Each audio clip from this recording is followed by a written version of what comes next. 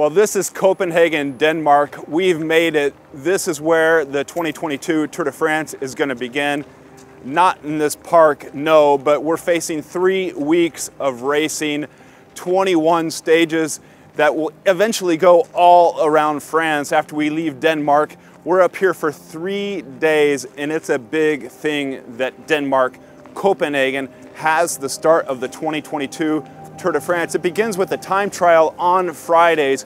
So we're getting there, the start of the 2022 Tour de France, and think about it, it's the 109th edition. It began in 1903 in Paris, and back then they only had six or seven stages, these long stages. But this year, the 109th edition, it begins right out here at this intersection. You wouldn't know it by looking at it. They still got to put up all the decorations and everything to get ready for stage one. And this is gonna be a special moment because on Friday, this is the biggest point in cycling. This is where the 2022 Tour de France will begin. And we're gonna look at the favorites, take a look at the stage today, walking around this beautiful city of Copenhagen. We've made a left turn and we're about one kilometer into the course, one of the many bridge crossings over the canals that are famous here in Copenhagen. Such a huge bicycle friendly city. Everybody's out going to and from school and work. The weather is perfect, fabulous. People are enjoying the day. We don't quite know what the weather will be on Friday. We're looking at a 13 kilometer course, that's for certain, but the weather's not for certain. Right now they're talking 23 degrees Celsius, 80% chance of rain, but who knows, maybe the sun will come back. This is crazy. Copenhagen is just a city of bikes. I, I've never seen anything else like this before, not even in Belgium.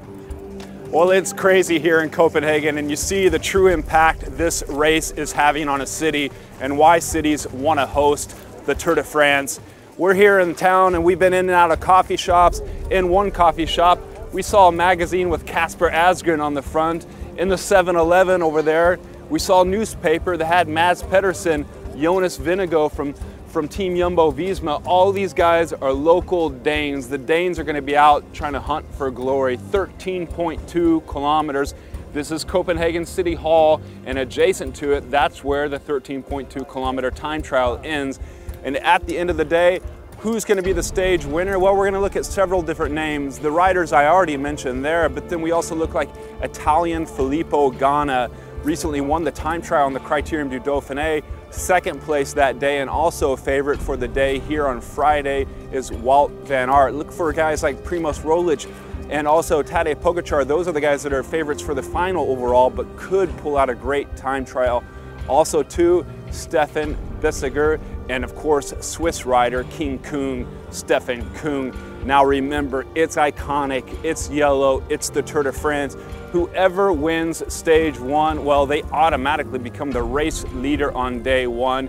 It's something that's been happening since early in the days of the Tour de France. It's that famous Maillot Jaune, the yellow jersey, and it's all gonna happen here on Friday.